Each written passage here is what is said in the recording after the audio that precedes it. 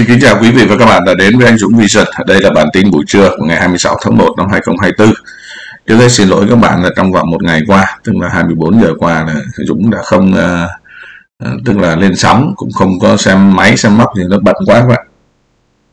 Một phần thì đó cái tất nhiên thì không nói nhưng mà nói chung là tôi có một số cái việc bận cho nên là có một số anh chị cũng gọi điện hỏi thăm có vấn đề gì không thì may quá chưa có vấn đề gì các bạn nhé. Chỉ có vấn đề bận thôi hôm qua có uống một tí nhưng mà không nó không ảnh hưởng gì đến cái chuyện ờ, chủ yếu là chuyện bẩn chứ bây giờ là à, mùa này là mùa tất nhiên rồi. Từ nay cho đến, đến tết này chắc là ngày nào cũng phải uống với nhậu chỗ nọ chỗ kia nhưng mà chắc là tôi ờ, sẽ có kế hoạch giảm giảm và đến ra tết là có lẽ là không uống nữa. Có lẽ là thôi lớn tuổi rồi. Thì uh, tôi mới ra vào trong các cái mạng này thì có một số cái thông tin mà chúng ta gần như là biết hết rồi. Cái chuỗi IL76 đấy thì bây giờ nó lộ rõ ra đúng như chúng ta đã nói cách đây mấy ngày. Nó như thế nào thì hồi đấy tôi nói là bây giờ nó đúng vậy đúng như vậy. Chứ không có gì khác hết chỉ nó chỉ có cái rõ hơn chi tiết hơn vậy thôi. Chứ còn các cái thông tin mà nó không không phải như vậy tức là những thông tin sai có thể vậy thôi. Như chúng ta biết là bên uh, uh, Slovakia và Hungary là bây giờ kháng khít hơn bao giờ hết tức là coi như kiên quyết chặn cái gói của EU Đấy, trước đây thì định loại cái ông Hungary ra nhưng mà bây giờ loại nếu mà loại ông này ra thì nó lại mọc ra một cái ông khác nữa. Chứ hai ông này đang, hiện nay đang rất là bền chặt. Ukraine hiện nay đang rất là cay cú hai cái vị này. Mà không biết tại sao cái ông Fico này là ông ông là thủ tướng của Slovak lại đi qua Kiev thăm. Đấy.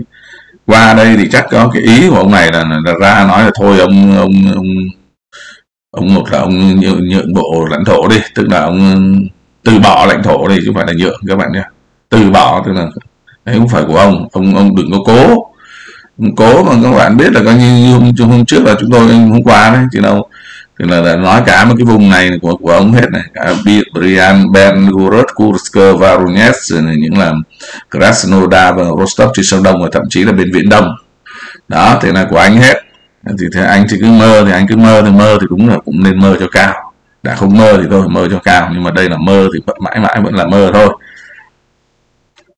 Thì à, anh à, Slovakia sẽ thăm Kiev sau sau một cái tuyên bố rất cứng rắn là sẽ không cung cấp sẽ không viện trợ. Đấy. thế thì ông qua đấy ông khéo nó cho ăn cho uống về này là, là cẩn thận. Mà thông thường là các cái, cái đám này mà đi qua là nó ăn uống rồi mang đồ đồ đem thân theo các bạn nhé. Chứ không có đại biết rồi có như ăn đại bôi đại biết gì đấy và ăn uống người bệnh mang bệnh về thôi còn nga thì hôm trước chúng ta nhắc rồi, nhưng hôm nay nhắc lại, thực ra một cái xác luật chính xác luôn, là những người nào mà chỉ trích quân đội nga à, sẽ bị tịch thu nhà cửa tài sản và có thể bị đi tù à, tối đa là 15 năm. Nếu mà chỉ trích thôi à, tức là thoá mạ quân đội nó kia giống như kiểu Prigozhin chửi bới kiểu đấy là là như là không được. Mỹ và Anh thì bây giờ bị hâu thi là đánh coi như là các bạn biết là là tàu Mỹ phải chạy các bạn nhé tàu quay đầu chạy đó. Còn cũng là vừa hộ tống vừa chạy tức là đánh hai cái hai cái tàu của cái Maersk Maersk tức là chúng ta biết đấy là cái hãng rất lớn của thế giới mà container đấy. Cái hãng này là của của Na Uy đấy. Thì nó đánh đuổi chạy. Còn tổng thống Đức thì sang Thái Lan rồi theo cái lời mời của ông Thạc Vi Sin gọi là Thạc Vi Xỉn đấy cũng được.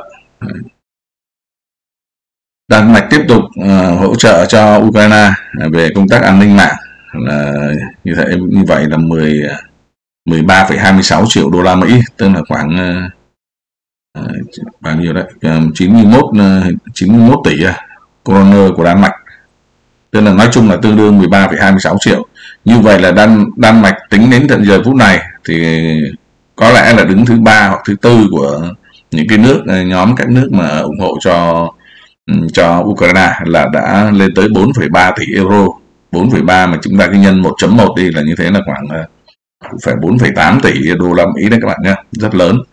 Ờ, đấy là cho quân sự còn riêng về cho dân sự thì khoảng là 408 triệu đô la Mỹ từ năm 2022 tức là từ khi có chiến dịch đặc biệt.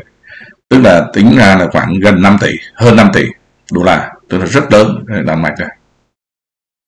Ông Đan Mạch này thì chúng ta biết là ông này ông cái, cái, cái GDP của ông nó co bóp bởi một cái công ty dược phẩm Đấy, Norix đấy là hôm trước mà chúng tôi có có hai cái cái video nói về cái công ty đấy.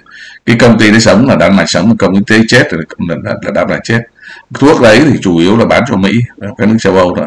Nhưng mà công ty làm làm nên làm giả rồi ngày hôm qua thì chúng ta trước đây hai tuần thì nga cũng có một cái cú hacker rất lớn để làm sập các cái hệ thống ngân hàng của bên ukraine thì ngày hôm qua là bắt đầu là nga lại đánh sập với các cái, trong cái chính phủ. Ờ, tức là các cái ờ, dữ liệu của chính phủ, rồi của bên ờ, thương mại, kinh tế, quân sự, các dữ liệu cá nhân, các cái bí mật, các dịch vụ thư tín và các cái gọi là AI đấy AI đấy, tức là trí tuệ nhân tạo. Rồi tức là có một cái báo cáo mạng, tức là cái hệ thống ngân hàng cũng đã bị sụp rồi. Và có rất nhiều cái cái cái dữ liệu về các cái quan chức uh, chuẩn bị vượt biên các bạn nhé. Tức là uh, tức là chạy ra nước ngoài đấy giống như như Việt Nam chắc nó có danh sách cả rồi đấy. À, ông nào đi ông nào ở đạp nhau đi hay đu cảng nào đấy dạng như vậy. Thì nó là có mà cả cái danh sách đấy là họ đột vào được. Biết em nào đi em nào ở rồi đấy các bạn nhé. Ông nào quan trọng ông nào không quan trọng. Thì tất cả cái này nó chỉ có hacker vào nó mới biết thôi chứ còn chả ai đi báo đi đi đi, đi, đi phơi bày những cái chuyện này cả còn cái vụ mà bắn uh, rơi cái máy bay IL đấy thì chắc là, là, là lớn chuyện đấy chứ bây giờ thì cứ nói nói vậy thôi chứ còn cũng sẽ làm đến nơi đến chốn. Chúng ta biết là, là cái chỗ này cái chỗ này ờ, bắn từ đây. Nó chính xác là từ cái chỗ thành phố Lips nó lan nó gọi Lipsy Lipsy chúng ta xem nào. Tôi thấy nó đâu đây Lipsy đây các bạn này đây. Lipsy đây nha đó. Lipsy bắn tới đâu?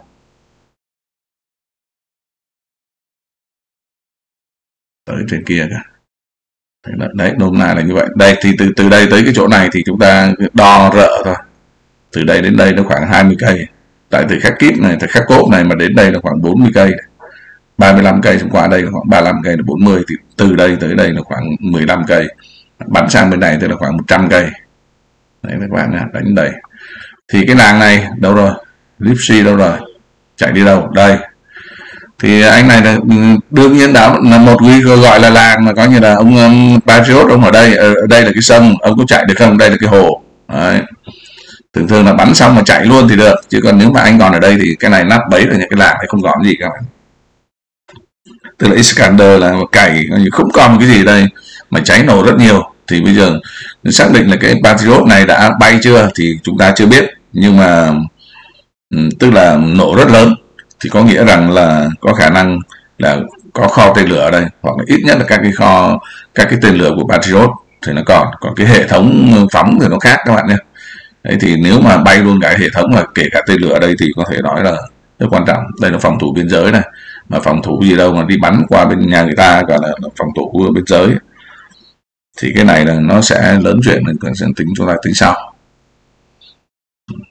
Bây giờ chúng ta đến cái chỗ khu vực uh, Kupian. Kupiansk. Thì uh, à, Sinkovka à, à, à Kupian ở đây Sinkovka thì nó thuộc cái khu đấy. Thì hôm qua Nga bắt đầu tấn công. Bắt đầu bắt đầu tấn công vào. Từ mọi hôm là chúng ta thấy là cứ đánh đánh ven ven này thôi. Đánh xuống cái chỗ này rồi đánh xuống cái chỗ Maskovka phía, phía dưới đang hôm trước họp họp đây này đây này đây, đây này hôm nay là coi như là bây giờ hôm nay đánh thẳng vào. Đấy tức là từ cái khi mà thay thay cái ông chỉ huy trưởng này là, là bây giờ bắt đầu cái đánh vào chứ toàn đánh UAV về cái kiểu như là ờ, tàn sát theo cái kiểu như là pháo binh mà thôi chứ không có chơi bộ binh và xe tăng thế lần này là chơi xe, xe, xe tăng và bộ binh vào. Thì cuối cùng là cũng lại thất bại. Rút nha các bạn lại chạy. Nhưng mà mất một trung đội đây. Và một số xe tăng đấy, tức là ở đây có vẻ như là nga đánh cái, cái cách cách đấy là đánh không được. Ở đây người ta phòng thủ chắc là rất là tốt có thể nói rất là tốt ở bên Ukraine.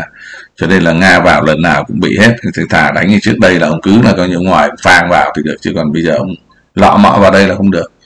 Đấy, lần này cũng không khác những lần trước. Như vậy là ở đây chắc là khó rồi. Bây giờ chúng ta đi xuống phía dưới này. Goliath Goliathrovka thì cái chỗ này hôm qua thì nó như thế này. Chúng ta nhìn thấy này thì chúng ta thấy là rõ ràng là cái sự tức là làm chủ khu vực này là cũng chưa phải là nga đâu các bạn nhé. Chỗ này cũng đang đánh nhau rất là lớn.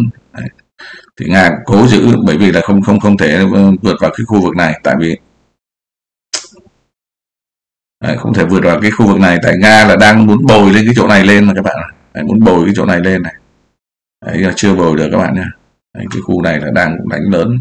Hôm trước thì nga là lấy hết ra rồi. Xong thế là lấy lấy ra phía phía trên này thì cố là coi như là, là nó ráp vào phía, phía trên này đấy, đấy. Usilovka đây là cái cả, cả cái khu vực này là nga là nga muốn lấy cái khu vực này. Đấy, nhưng hiện nay chưa lấy được các bạn. Đấy, muốn lấy cái chỗ này sau đó là xâm nhập lại cái đường này đây cái hôm hôm trước này nhưng mà nói chung là không phải một mình nga đánh. Đấy, không phải một mình nga đánh cái khu vực này. Đấy là muốn là ra tới đây cả chưa đánh được các bạn. Ra thì nè này còn trên là Orliansk Orliansk Orliansk rồi chúng ta xuống dưới này cái chỗ này à, riêng à, cái chỗ này đây nhá cái chỗ là Kuliat đây thì nó như này thì hôm trước là chúng ta là nói là ra tới đường ra tới đường là bán cái đường cái khu vực dưới này thì đường của nằm trong nga rồi. Nhưng mà riêng cái chỗ khu vực này á là đây mất rồi các bạn chỗ khu vực này mất rồi. Nếu mà chúng ta bôi thì nó phải bôi như thế này. À, nếu mà bôi là bôi cái màu này đây nó chưa hẳn là của bên ờ, bên ờ, Ukraine. Thì hôm trước chúng ta thấy đánh tới đây và đánh tới đây rất là ok rồi nhưng mà hôm nay mất luôn à. đây chúng ta cho cái màu này à. tức là không chưa chưa chưa chưa chưa được như ý các bạn nhé. Đây là cái khu vực này là của bên ờ, cái màu này nó hơi giống màu xanh này thì cho nó còn cái màu hơi giống màu hồng này của nga thì cái này là nga mất rồi. Tóm lại là bây giờ nga cái chỗ mà uh, nó là Krokmania này thì đấy thì nó còn cái tí chỗ này thôi. Đấy. các bạn nhớ hôm trước là chúng ta biết là nga đang đánh này định coi như bạn tốt nhất tới đây này chúng ta nhớ chưa? Đấy, nhớ bây giờ thì có giữ đây thôi. Đấy trước là tới đây này bây giờ tới đây bây giờ cố giữ đây. Tóm lại là phải giữ được cái đường này. Thì cái đường cái khu này á là bên Ukraine giữ. Còn bên dưới này là Nga giữ trên này là Nga giữ. Tóm lại cái khu vực này đang giao tranh đang rất là đang đang là giao tranh rất là, là ác liệt cái khu vực này Nga tức là đẩy lui Nga lại cái khu này thì chúng ta biết cái chỗ này nó gần gần cái sấm cái chỗ mà cái sông đấy để chúng ta tắt ra này. đấy chúng ta thấy cái chỗ này là Nga rất là quan trọng này. trước là chúng ta đã nói nhiều lần rồi cái chỗ này nó chỗ nào nó cong nhất này. Đấy. thì Nga từ cái chỗ này ra là nó ngắn nhất này đấy, chứ không phải là cái chỗ dài nhất đấy, các bạn nhớ chưa đó thì hôm nay lại mất tiếp đang thui rồi đấy hôm trước là ra tới đây bây giờ là bây giờ là còn có chương này thôi các bạn nha. Đấy nga còn chương này thôi. Mất cái cái đoạn này. Mất đoạn này rất là đau, rất là đau. Tiếc. Nhưng mà đánh nhau vậy thôi, chứ phải giao tranh chứ không phải là đánh có một người, một một bên đánh đâu rồi xuống chúng ta xuống Tarani. Tarani đây thì à, chúng ta thấy là chỗ này thì hôm nay đánh được tức là nga còn đánh qua ra tới ngoài này các bạn nhé. Ra tới mấy cái chỗ ngoài uh, này rồi đánh tức là đánh bom đấy. Đánh bom vào UAV ngoài đánh ngoài này. Tức là các cái chỗ mà ngã ba đường này là nga đánh hết này. Còn riêng ở trong khu vực này có chỗ cái trạc đây. Cái trạc đây chúng ta thấy là đây cái trạc này. Đó. Cái trạc này cứ nó nó vẽ to này thì chúng ta nhìn nó, nó dễ hơn. Đó cái trạc này. Đó. đó thì là hôm nay là nga là đánh cái khu vực này đánh khu vực này đánh cả khu vực này. Nói chung là cũng uh, trên này thì đánh được nhiều hơn. Đấy, ra tới đây còn dưới này thì thấp hơn một tí. Còn bên Ukraine thì người ta đánh vào trong này được một tí. À, màu bên này thì họ đánh vào đây. Riêng khu vực Terani này thì uh, Nga cũng đánh uh, chính người đánh rất dữ dội như thế này cho nên bên này là rút chạy. Đấy, bên này cũng rút chạy. Còn bên này thì đang đụng độ khu vực này. Đấy không thể cho vào đây được. Chứ hồi trước là chúng ta biết là cả cái cái vạt này là của của nga hết. Cả cái vạt này ta thấy là của nga thời điểm trước đây là nga ra tới đây. Này. lên tới trên này, này bật vào đây của nga hết. Thế mà bây giờ nó chỉ còn được thế này thôi chỉ còn được ra bây giờ ra được thế này. Cái phía dưới này còn trên này thì nó lại trắng. Đấy nó là như vậy. Đấy hiện nay đấy còn cái chỗ này thì là nó, nó, nó là xanh rồi nó là xám rồi các bạn nhé. Để chúng ta thấy đây nhưng mà hôm qua đây đánh rất hiệu quả. Hôm qua là riêng khu vực này là đã tiêu diệt được 270 binh sĩ Ukraine. Và 32 xe 32 xe các bạn nhé. Đấy đánh cho đông tấn công đủ mũi đây. Là coi như là 32 xe nhưng mà chủ yếu xe bộ binh chiến đấu và chở bọc thép và chở quân thôi. Với là xe bộ binh chiến đấu có thể là xe tải đấy các bạn thì có, có cả những xe chiến đấu ờ, bánh thép bánh xích bọc thép vân vân. Thì đấy gọi là xe bộ binh chiến đấu. Và nó cũng có súng máy ở trên nó và có hai xe tăng trong số 32 xe đó và 270 như vậy là 30 xe mà 270 người mà chia cho 30 xe thì như thế là mỗi xe 9 chiếc đấy. Đúng là xe này chắc xe nhỏ thôi chứ không phải là cái xe mà xe tải to đâu. Thì hôm qua là gần như tiêu diệt chạy chạy hết các bạn cho mới chiếm được mấy cái chỗ này đây thôi được bao nhiêu hay bấy nhiêu thôi chứ bây giờ. Đấy thì uh, sau đó là UAV của bên uh, Ukraine là, là và T T 72 đánh vào cái khu vực này. Nhưng mà cuối cùng là Nga đã đã phản công ờ, và phản công thắng lợi. Tóm lại là khu vực này là chết như thế là tương đối nhiều. Nếu 270 là một tiểu đoàn thiếu đấy các bạn. Nếu mà nói nó gọi là tiểu đoàn thiếu. Này tiểu đoàn này một cái dạng một cơ giới này cho nên toàn xe. Ok rồi. Còn chúng ta đi xuống cái phía dưới cái rừng tội phạm này cái rừng tội phạm này thì hôm qua nga đánh cũng tốt. À, cái chỗ này cái chỗ mà các bạn uh, hay nhớ nó là cái chỗ mà các cái chị em nữ này. Đó thì nga hôm qua đánh bốn hướng đánh xuống ra tới có có một mũi là qua sông được. Còn hầu hết là chưa qua sông. Và đặc biệt là phía cái chỗ này mỏ than mỏ đá và khu công nghiệp với cái chỗ mà mà ờ, uh, sàng rửa than đây thì cái chỗ này đây là nga đánh giả tóm lại là nga có khả năng lấy cái, cái chỗ này rất sớm rất sớm các bạn nha đây đây là cái góc chúng ta nói là phía nam của rừng tội phạm và phía đông bắc. Hay nói cái khác là cái chỗ cái mỏ than mỏ đá. Nên bạn nào mà theo dõi cái kênh này lâu thì các bạn sẽ biết cái mỏ than mỏ đá nó nằm đấy đấy nằm đây này. Các cái mỏ này đó. Nó sàng lọc than ở đây. Thì dưới này nó là Sivet đây là Sivet đây. Đấy. thì nó sẽ có hai cái vòng tròn. Hôm trước tôi vẽ hai cái vòng tròn. Đây là cái vòng tròn. Đây nó vào đây thì nó tròn tròn này, này các bạn. Đây nó tròn tròn này còn cái này đây nó cũng tròn tròn này. Thì đây cái vòng tròn nhỏ là nga đã lấy sắp xong.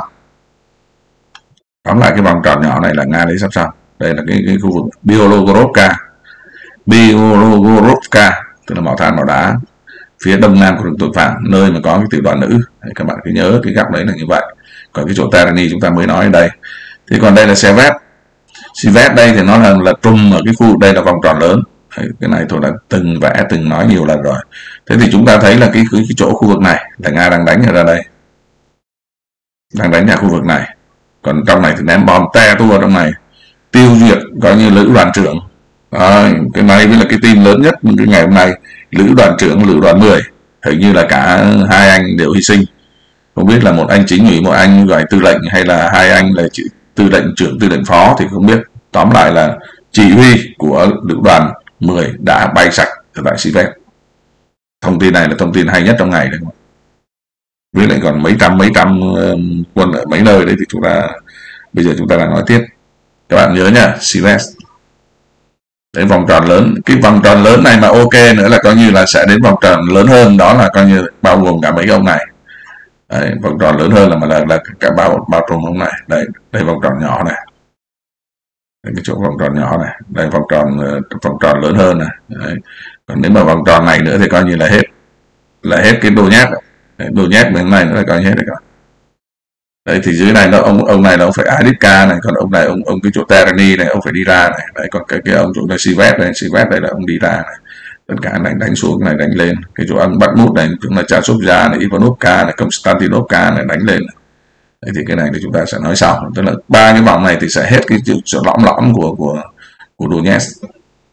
Cái khu vực ờ, uh, Bohanovka này thì chúng ta biết rằng là ngày ừ, Nga cũng cũng chưa chiếm được cái chỗ này. Nói chung là vào trung tâm vào trung tâm và cố giữ chứ còn còn không thể lên được uh, quá.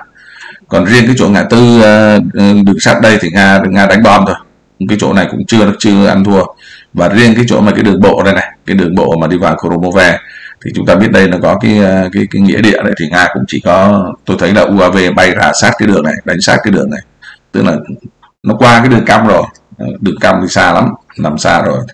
Thì uh, như thế là là tốt nhưng mà vẫn vẫn chưa vận động. Có lẽ là nó là có chuyện gì đây chứ không phải là đây. À, đây chúng ta là trả xuất ra đây rồi. Đây là bên trả xuất ra của bên này kênh còn đây bên trong trả xuất ra là bên kia thì nó nó rộng hơn tí. Thế thì coi như là bây giờ nga đang đánh những cái cong thì nó tốt đây xuống của ba đây thì hiện nay đang đánh dọc cái chỗ này. Còn riêng trong trả xuất ra tôi thấy cũng đánh cũng nát đấy các bạn nha. Tức là cái cái chỗ phía ngoài này phía đông bên đông và phía bên bên kia của cái con kênh đây con kênh này các bạn này, đây, con kênh này. đấy kênh đây đây con kênh này nó xuống Klitschka đây. Klitschka nó xuống chữ Kurovomovka thì nó là Nga đã chiếm được cái, cái cả hai bên hai bên kênh rồi. Nhưng mà chỗ Klitschka và Androvka thì chưa thì hôm qua cái khu vực này là đấy nó đánh y thế này đây. Còn đánh vào trong uh, cha rút ra thì mỗi mỗi em là một quả bom mỗi góc một quả bom. Còn riêng cái em Ivanovka này thì không qua bom nhiều lắm. Đấy, thì coi như là không biết là sắp sắp ra đi chưa. Thì uh, chúng ta chờ xem. Tại vì chúng ta biết là ở đây là cái cái cái mỏm mà hai cái đồi mà 251 đấy là nó rất là cao. Cho nên nga ở đây là nga cứ ở đây là nga bò vào thôi chứ còn không chứ chưa có bộ binh này đâu nha các bạn. Cứ đứng đây là bò vào đây cho nên là hôm qua Ivanova rất nặng rất nặng dùng từ như vậy. Xem nào có thể thả gì không nào? Đấy, chỉ biết là UAV hoành hành ở Chasovia và đánh bom rất nhiều vào Ivanovka đấy vậy thôi. Đấy, cái khu vực này là như vậy. Còn đây khu vực dưới này là đây Koromovka thì tôi nói rồi tức là hai bên của cái cái con kênh thì đó là của bên bên nga rồi. Còn cái Androvka và cái Lizivka thì còn còn phải vận động. Còn tại khu vực à, uh, Adipka Adipka thì cái chỗ mà Stepove này thì nga lại lại lấy lại được rồi. Nói chung là cái khu vực này nó cứ lấy tới lấy lui thôi. Lại lấy được rồi. Nhưng mà cái chỗ này là là không được các bạn nhé. Cái chỗ này là bên bên Ukraine nó đang mạnh hơn. Là họ đang tấn công các cái khu vực này. Nói chung họ làm chủ được cái cái tuyến tuyến này rồi. Và họ đang muốn phản công xuống dưới này. Nhưng mà hôm qua là nga tấn công ra thì bắt đầu họ lại rút về. Nói chung họ cũng cố thủ ở cái chỗ, cái ngã ba, cái đường sắt. Ờ, và chỗ mà cua cua của đường sắt đấy. đấy đấy cái chỗ đấy rất quan trọng thì hiện nay là bên kia nắm giữ. Nên nếu các bạn nào mà theo dõi lâu thì các bạn nhìn và các bạn biết nó là cái gì ở đây rồi. Đây là Ucharestina thì đây là có cái đường thì cái chỗ này cái đường nó giao nhau này. Đấy, tức là nó cái dạng như vậy tức là nó khi mà nó vào đây là nó cắt. Cái ông đi thẳng thôi chứ còn ông đi vào ngược lại thì ông lại cua vào đây. Đấy thì cái chỗ khu vực này là khu vực này là mấy ngày nay là nga giữ để cố gắng là coi như không cho các cái tiếp viện từ phía hướng đằng này. Nhưng hôm nay cái chỗ này là của bên ukraine. Còn nga thì lại tiếp tục à, step về ở phía tây. Tất nhiên là cũng là cắm cờ thôi. Tôi thấy cắm cờ ở đây nhưng mà chắc cũng không có người đâu các bạn. Nếu mà vào là bắn thôi chứ còn không nên qua đây. Cái khu vực phía tây này là rất là nguy hiểm. Cái chỗ này là cũng là cũng là một trong những cái nơi mà nướng giống như Sinkoka trên kia là nướng quân nga ở đây. Nướng giờ chúng ta xuống tiếp là cái chỗ phía nam. Phía nam cũng đánh tốt các bạn nhé còn khu vực này vẫn vậy thôi. Phía nam thì như thế này. Phía nam thì uh, hôm qua là bên Ukraine người ta đánh uh, đánh thuộc về xuống dưới này rồi. Xuống dưới này rồi đánh rất nhiều hướng. Tức là ba con đường này Sabo rồi ừ, Charna rồi những là Sparna đấy. Sparna chúng ta hay gọi là sport đấy. tức là là gọi là thể thao cho nó dễ. Thì họ đánh vào đây cả cái khu vực này đánh vào khu vực này cái xe tăng là chạy tới chạy lui chạy lui chạy tới. Đây rất là nhiều chứ không phải chạy một hướng các bạn nhé. Đấy, mới đầu thì chạy hăng lắm nhất là hai cái con đường ở dưới này. Còn đường Sabo thì bên bên nga nó nó sử dụng ờ, UAV nhiều các cái cái đường trên đấy. đấy là sử dụng UAV rất nhiều. Ở cái này là băng còn mấy cái anh này thì là nga đánh. Chỗ này là chỗ của nga mà. Đánh với nhau ở khu vực này. Đấy, các khu vực này. Rồi kể cả đây là chúng ta biết đây là cái chỗ mà đây nó gọi là tarot đây các bạn nhé. Pháo, pháo đài tarot còn đây nó gọi là cái ờ, nó gọi là cái ờ, thành trì và nó có hai cái chấm này. Thì bên bên trái này là của bên Ukraine còn bên phải này là bên của Nga các bạn nhé. Đấy cho nó rõ. Bây giờ vẫn chưa lấy được cái chỗ này chúng ta thấy là màu xanh luôn đấy chứ không phải xám mà thì hiện nay giao tranh đấy rất nhiều mà mà cái tá tarot này là nó có sĩ quan cao cấp này đấy, thì hiện nay là nga cũng đang cứ ở, phía ngoài thôi. Còn không biết dưới hầm này nó có cái đường hầm nó chạy qua chạy lại các khu vực này. Chúng ta biết đó là đây cái khu phòng thủ rất là cứng. Thì hôm qua tất cả tất tất tất tật đây thì nga tiêu diệt được 300 binh sĩ 4 chiếc xe tăng 7 hệ thống pháo. Và có thể nói đánh tan nát được cái khu vực này các bạn nhé. Nhưng mà giải phóng hết chưa thì chưa. Thì trong ờ, thời gian tới hiện nay 40.000 quân đang đang tiếp viện về về đây rồi. Thì ờ, cũng người ta nói rằng đấy là không không không sợ không muộn lắm. À, hay nói cái khác là sẽ sớm thôi là nga sẽ lấy toàn bộ cái Adipka. Thì ngày nào thì chúng ta chưa biết thôi nhưng mà đại quân đang kéo về đây. Rồi ở đây thì chúng ta biết là có cái lữ đoàn 116 Đấy, tức là lữ đoàn phòng thủ đó tức là 115 đến 118 là bốn cái lữ đoàn đấy là lữ đoàn phòng thủ ấy các bạn nhé thì họ đã điều thêm một cái 116 về đây nhất là ở cái đường đường dưới này. Đấy. Ờ, đi đi đánh vào cái đường dưới này. Thì giao tranh ở đây đánh rất lớn. Thì cuối cùng là bây giờ đến giờ phút này thì nga đã chiếm được lại cái cái khu vực này. Cái khu vực này. Một cách một cách đàng hoàng đấy chứ không phải là vững chắc đấy. Cái này thì tôi, tôi nghĩ là chắc khó mà mà mà mà bị mất nữa chỗ này. Tại vì bên kia người ta không có chịu mất. Thứ nhất là nó phải đánh vào để nó cứu các cái uh, sĩ quan ở dưới này thì không biết là có hầm ngầm nó chạy đi được không thì không biết bây giờ tôi thấy còn có tí ở trên này thôi là là của bên uh, Ukraine. Hay nói cái khác là vùng xám này chứ còn nếu mà còn thì bên đấy là đại nga nó đuổi là đuổi luôn. Thì tôi thấy phía trong này thì bên ờ, uh, UAV của bên uh, bên uh, Ukraine nó vẫn ném lựu đạn xuống các bạn nhé. Các cái khu vực mà có quân đội nga là ném xuống và các con đường nhất là các con đường sắt này. Đây, đây là con đường sắt này cái đường à, đường ô tô thì nó có thể vuông góc được chứ đường sắt thì không thể vuông góc được các bạn nè Đấy, cái đường ô tô nó vuông góc thì nó còn lui nó ra quay đầu thì chứ còn đường sắt thì không thể vuông góc. Đường sắt thì cái tàu nó chạy nó phải uốn lượn. Đấy. cho nên các bạn thấy mà nó uốn lượn như thế này đó chính là đường sắt. Còn cái đường thẳng cái này cua góc góc ngã tư ngã đổ thì nó lại là đường là đường bộ. Đấy, thì uh, hôm qua là cũng giao tranh khu vực đường sắt này này. Đấy, cái đường sắt này, này. Đấy, rất nhiều. Tại vì là uh, nga cũng cũng nó, nó nằm trong cái khu vực của nga từ Donetsk ra này thì chở được đường sắt là cứ chở thôi nhưng mà nó đón đầu đánh. Rồi vậy thôi căn cứ phòng không cũ thì hai bên là đều đang giữ.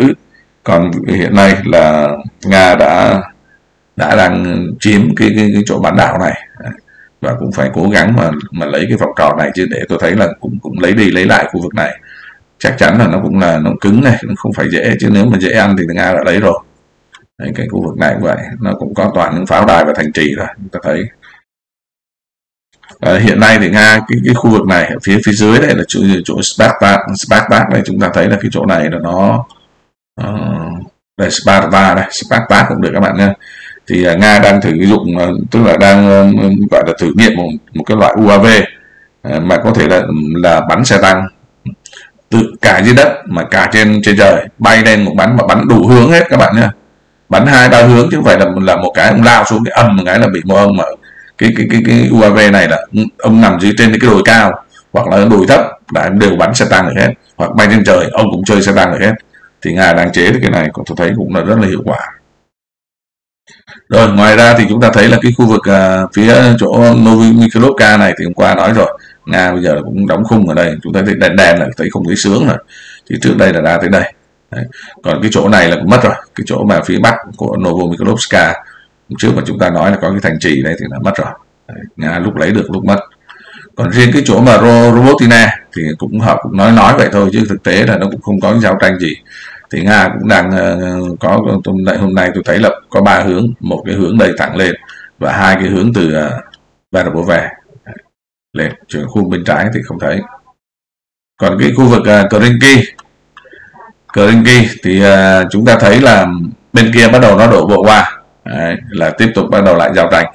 Tức là hình như là tuyết tan nhưng mà Nga vẫn đang ờ, dồn vào cái điểm mà mà Nga cho phép thôi.